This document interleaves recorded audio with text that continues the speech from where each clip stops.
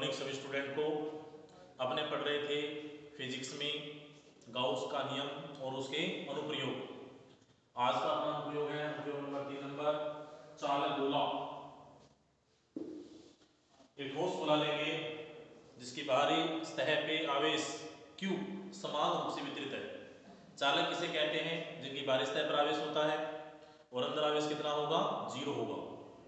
जिनमें धारा का प्रवाह क्या होगा? आसानी से होगा।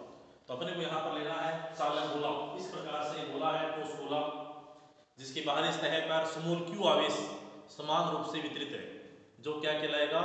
सम आवेशित चालक गोला कहलाएगा। तो अपन क्या करेंगे? सबसे पहले कैपिटल आर त्रिज्या का कैपिटल आर त्रिज्या का एक सम आवेशित चालक गोला लेंगे, जिस पर क्यू आवेश क्या है? समान रूप से वितरित है। विद्युत क्षेत्र की तीव्रता ज्ञात करने के लिए सबसे पहले हमें ये बनाना ज़रूरी है बिंदु कहाँ पर। है तो यहाँ पर जो प्रेक्षण बिंदु होगा, वो निम्नलिखित चार स्थितियों में हो सकता है। तो सबसे पहले एक अपने डायग्राम बना रहे हैं। ये एक चालक गोला है, जिसकी त्रिज्या है कैपिटल आर इसका सेंटर है ओ बिंदु। इसकी बाहरी सतह पर यहाँ पर आवेश है प्लस क्यू जो समान रूप से वितरित है। प्रेक्षण बिंदु चार स्थितियों में हो सकता है, जैसे मैंने पहला प्रेक्षण बिंदु लिया है ए जो चालक गोले की सतह के बाहर है। दूसरा बिंदु है बी जो चालक गोले की सतह पर है। तीसरा बिंदु है सी जो चालक गोले की सतह के अंदर है और लास्ट बिंदु है डी जो चालक गोले के केंद्र पर है अंदर आवेश कितना है ज़ीरो है अब हमें क्या करना है बिंदु की अलग अलग स्थितियों में विद्युत क्षेत्र की तीव्रता ज्ञात करनी है तो पहली कंडीशन लेंगे अपने, पहला केस लेंगे। जब बिंदु या प्रेक्षण बिंदु चालक गोले की सतह के बाहर हो तो विद्युत क्षेत्र की तीव्रता का व्यंजक व्युत्पन्न कीजिए। पहली कंडीशन है case first R greater than R हो। जब आर ग्रेटर देन आर हो, अर्थात जब प्रेक्षण बिंदु चालक गोले की सतह के बाहर स्थित हो तो विद्युत क्षेत्र की तीव्रता का व्यंजक व्युत्पन्न कीजिए। इसके लिए हम क्या करेंगे? कैपिटल आर त्रिज्या का चालक गोला लेंगे, जिसकी बाहरी सतह पर स्मॉल क्यू आवेश समान रूप से वितरित है। इस सम आवेशित चालक गोले की सतह के बाहर बिंदु तभी स्थित होगा, जब r ग्रेटर देन r हो। इसका मतलब क्या है? इसका मतलब ये कि स्मॉल r का मान क्या है? ज़्यादा है। और कैपिटल R का मान क्या है? कम है। कैपिटल R क्या है इस चालक गोले की त्रिज्या है तो डायग्राम को अपन चेंज करके इस प्रकार से बना सकते हैं।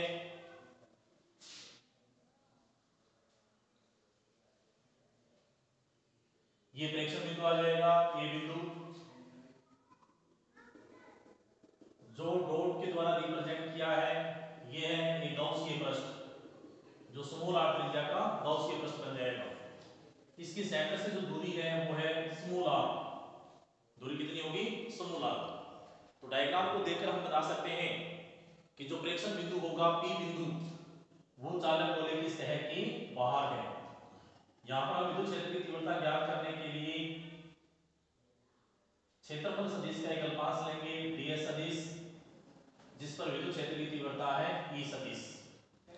इस गॉसिय पृष्ठ से निर्गत विद्युत फ्लक्स गॉस के नियम से।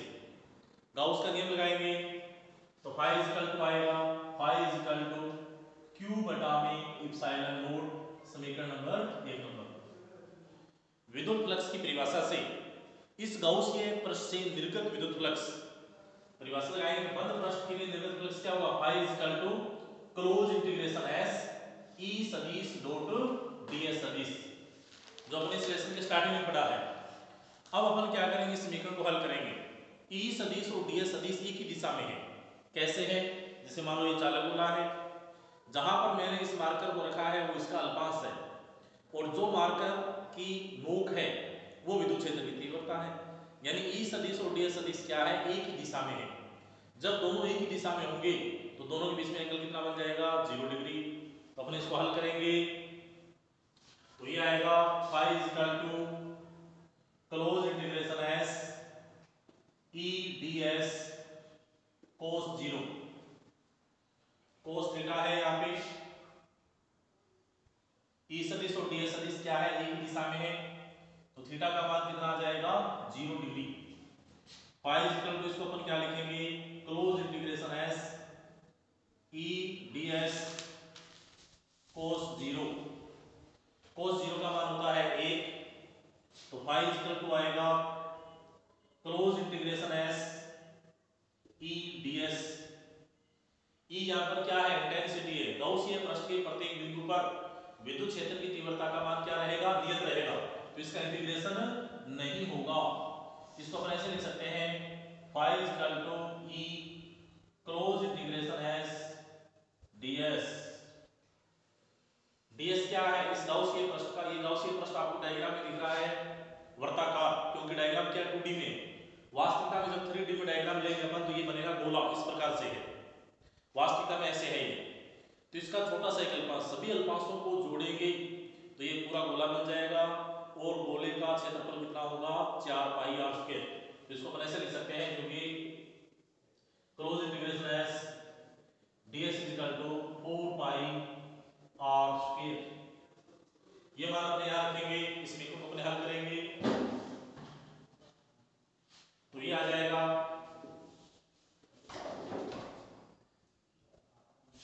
pi is equal to e into 4 pi r square समीकरण नंबर दो नंबर। अपने यहाँ पर क्या किया है? क्लोज इंटीग्रेशन है ds की वैल्यू रखी है जो गोला था, गोले का क्षेत्रफल अपने जो गाउसी प्रश्न रहा है। गोले के रूप में उसके क्षेत्रफल की वैल्यू रख दी यहाँ पे। समीकरण एक और दो दोनों क्या है? आई के मान है, यानी फ्लक्स के मान है। तो समीकरण एक और दो को हम बराबर रख सकते हैं। तो लिखेंगे अपन समीकरण एक व दो से। समीकरण एक व दो से। तो ये आएगा ई गुणा में फोर पाई आर स्क्वेयर बराबर क्यू बटा में यहाँ से अपने का मान निकालेंगे तो ई बराबर आएगा क्यू बटा में 4 पाई इप्सिलॉन 0 आर स्क्वायर। ये जो मान गुणा में था, जैसे बराबर ले जाएँगे, बटा में चला जाएगा क्योंकि हम जानते हैं 1 अपॉन 4 पाई इप्सिलॉन 0 किसके बराबर होगा स्थिर विद्युत की नियतांक k के बराबर होगा। तो इसको अपन ऐसे लिख सकते हैं E बराबर kq बटा में r स्क्वायर ये आंसर आ गया। ये समीकरण आ गई तीन नंबर। समीकरण तीन क्या है? चालक गोले की सतह के बाहर स्थित किसी बिंदु पर विद्युत क्षेत्र की तीव्रता का व्यंजक है, जो अपने को याद रखना है। अब देखो समीकरण तीन में क्या है? समीकरण तीन ये है क्यू बटा में आर स्क्वायर इसमें जो क्यू है, वो पूरा का पूरा क्या है? कांस्टेंट है नियतांक है नियत है के का मान हम जानते हैं कितना होगा? के का मान नौ गुणा में दस की पावर नौ और क्यू यहाँ पर क्या है? आवेश आवेश की वैल्यू फिक्स होगी तो इन दोनों में रिलेशन क्या बनेगा? ई समानुपाती एक बटा में आर स्क्वायर इसका मतलब क्या हुआ? कि चालक गोले की सतह के बाहर स्थित किसी बिंदु पर जो विद्युत क्षेत्र की तीव्रता है, वो बिंदु की दूरी वर्ग की व्युत्क्रमानुपाती होगी। बिंदु को जैसे जैसे दूर ले जाएँगे, तीव्रता का मान क्या हो जाएगा? कम हो जाएगा। और बिंदु जैसे जैसे पास आएगा, चालक गोले की सतह के पास आएगा, तीव्रता का मान क्या हो जाएगा? बढ़ जाएगा। अब देखो यहाँ से हम क्या करेंगे? समीकरण तीन को सदिश रूप में लिखेंगे। समीकरण तीन को क्या करना है? सदिश रूप में लिखना है। तो ये आ जाएगा ई सदिश इज़ इक्वल टू क्यू बटा में R square R cap R cap यहाँ पर क्या है? एकांक सदिश है। जो विद्युत क्षेत्र की तीव्रता को बिंदु की दूरी की दिशा में रिप्रेजेंट कर रही है। अगर अपने से प्रश्न पूछा जाए कि विद्युत क्षेत्र की तीव्रता और बिंदु की दूरी के बीच में ग्राफ बनाइए तो ग्राफ कैसा आएगा? परपेंडिकुलर आ जाएगा इस प्रकार से? ये y एक्स है, y एक्स पे अपन क्या लेंगे? इंटेंसिटी ऑफ़ इलेक्ट्रिक फ़ील्ड ये मूल बिंदु है और यहाँ पर अपन ले लेंगे दूरी, r स्क्वायर तो ग्राफ इस प्रकार से आ जाएगा। इस प्रकार से पहली कंडीशन अपनी कंप्लीट हुई। अब दूसरी कंडीशन है धीरे धीरे बिंदु को अपने क्या करना है? दूर से पास लाना है। पहले कंडीशन में बिंदु कहाँ पर था? सतह के बाहर। अब बिंदु कहाँ पर होगा? सतह पर होगा।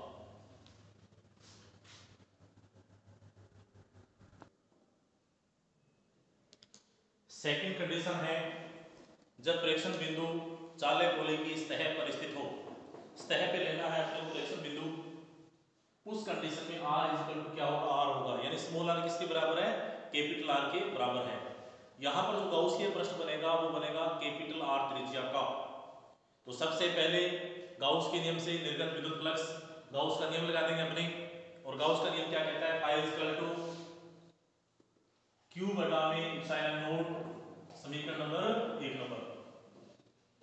विद्युत फ्लक्स की परिभाषा से फाइव इक्वल टू हम क्या लिखेंगे? क्लोज इंटीग्रेशन एस, ई सदिश डॉट ds सदिश।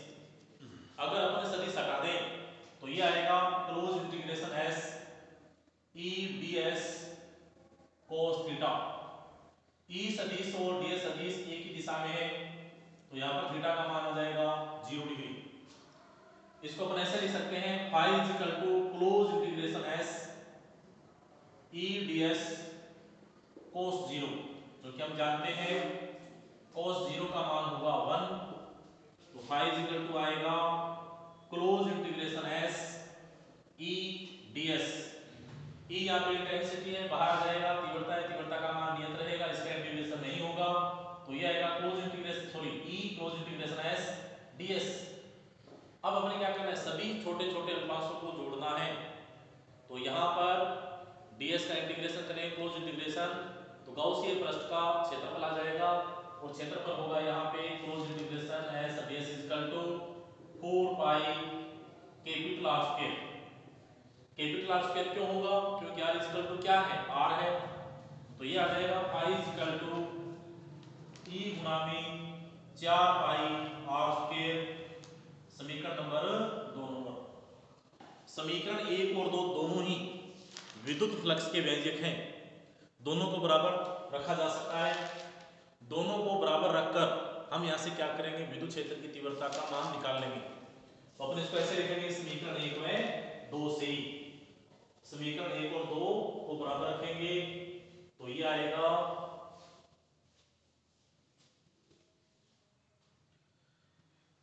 Q sorry E into four pi R square is equal to ये आएगा Q बटा में इप्सिलॉन ज़ीरो अगर यहाँ से अपन E का मान निकालें तो ये आएगा E इजकल टू Q बटा में four pi epsilon zero capital R square क्योंकि हम जानते हैं one upon four pi epsilon zero के बराबर होगा के के बराबर होगा।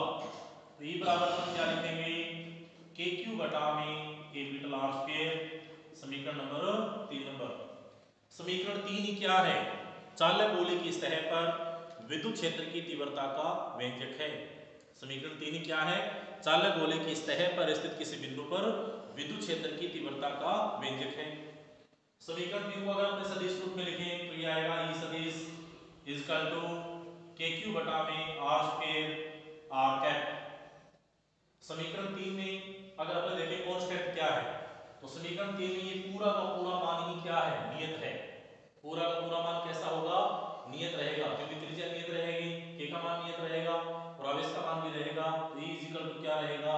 e इक्वल टू कांस्टेंट इसका मतलब चालक गोले की सतह पर विद्युत क्षेत्र की तीव्रता नियत रहती है और यह तीव्रता अधिकतम होती है। अगर अपने ग्राफ बनाएँ कि बिंदु की दूरी और विद्युत क्षेत्र की तीव्रता में ग्राफ कैसा आएगा तो ये ग्राफ बन जाएगा इस प्रकार से, ये एक्स एक्स है, ये वाई है। वाई पे इंटेंसिटी और एक्स पे लेंगे बिंदु की दूरी। तो ग्राफ इस प्रकार से बनेगा। यानी जो विद्युत क्षेत्र की तीव्रता है, वो बिंदु की दूरी पे डिपेंड नहीं करेगी। तीव्रता का मान क्या रहेगा? नियत रहेगा। त्रिज्या जितनी भी रहेंगे, उस त्रिज्या पे मान कैसा होगा? नियत होगा और कांस्टेंट रहेगा। अब है तीसरी कंडीशन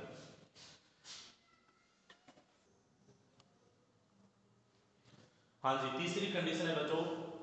जब बिंदु चालक गोले की सतह के अंदर स्थित हो बिंदु चालक गोले की सतह के अंदर तभी स्थित होगा जब r लेस देन r हो इसके लिए हम क्या करेंगे? समूल r त्रिज्या का एक गाउसीय पृष्ठ लेंगे और जो गाउसीय पृष्ठ बनेगा, वो चालक गोले की सतह के अंदर बनेगा।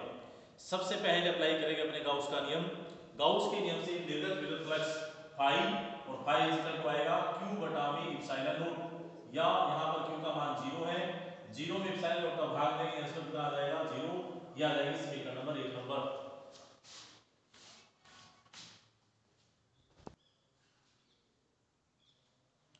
अब अपने यहाँ पर विद्युत फ्लक्स की डेफिनेशन लगाएँगे। तो विद्युत फ्लक्स की परिभाषा से निर्गत विद्युत फ्लक्स। तो ये आ जाएगा phi is equal to close integration S E सदिश डॉट डी एस सदिश। इसको अपने जैसे पहले हल किया, उसी तरीके से हल करेंगे। तो ये आएगा close integration S E D S cos theta theta का मान यहाँ पर कितना है? ज़ीरो है। कोस ज़ीरो का मान कितना होता है? एक होता है। तो फाइव इक्वल टू आ जाएगा close integration S E D S cos zero और कोस ज़ीरो का मान कितना है एक तो इसको अपन ऐसे लिख सकते हैं close integration S E D S E यहाँ पर क्या है? इंटेंसिटी ऑफ़ इलेक्ट्रिक फ़ील्ड इसको अपने बाहर निकालेंगे तो फाइव इक्वल टू आएगा E close integration S D S D S क्या है? गाउसियन पृष्ठ का अल्पांश है। सभी अल्पांशों को अपने जोड़ेंगे तो यहाँ पर गाउसियन पृष्ठ बन जाएगा। और गाउसियन पृष्ठ का क्षेत्रफल कितना होगा? 4 पाई आर स्क्वायर तो ये आ जाएगा इनटू 4 पाई आर स्क्वायर समीकरण नंबर 2 नंबर। समीकरण 1 और 2 दोनों ही किसके मान फाई के मान, दोनों को अपने बराबर रख सकते हैं। जैसे बराबर रखेंगे तो ये आएगा E गुणा में 4 पाई आर स्क्वायर बराबर 0 या E बराबर आएगा 0 इसका मतलब क्या हुआ कि चालक गोले की सतह के अंदर विद्युत क्षेत्र की तीव्रता शून्य होती है। इसको अपने सीधा भी लिख सकते थे E बराबर के बटा में आर स्क्वायर अंदर आवेश नहीं है, जब आवेश ज़ीरो होगा तो विद्युत क्षेत्र की तीव्रता भी ज़ीरो होगी। लास्ट कंडीशन है, सेंटर पे आपसे पूछा जाए कि चालक गोले के केंद्र पर विद्युत क्षेत्र की तीव्रता कितनी होगी? ज़ीरो। क्योंकि अंदर आवेश कितना है? ज़ीरो है। तो चार कंडीशन हमने पढ़ी। पहली कंडीशन क्या थी? जब बिंदु चालक गोले की सतह के बाहर हो तो विद्युत क्षेत्र की तीव्रता कितनी होगी? E बराबर kq बटा में r स्क्वायर दूसरा पॉइंट जब बिंदु चालक गोले की सतह पर हो तो विद्युत क्षेत्र की तीव्रता कितनी होगी? E बराबर kq बटा में r स्क्वायर तीसरी कंडीशन अपने अंदर ली है जब अंदर आवेश ज़ीरो होगा, तीव्रता कितनी हो जाएगी? ज़ीरो। और लास्ट कंडीशन सेंटर पे तीव्रता कितनी होगी? ज़ीरो होगी। अगर अपने चारों कंडीशन के लिए सामूहिक ग्राफ बनाए विद्युत क्षेत्र की तीव्रता और बिंदु की दूरी के लिए ग्राफ बनाया जाए तो ग्राफ आएगा इस प्रकार से।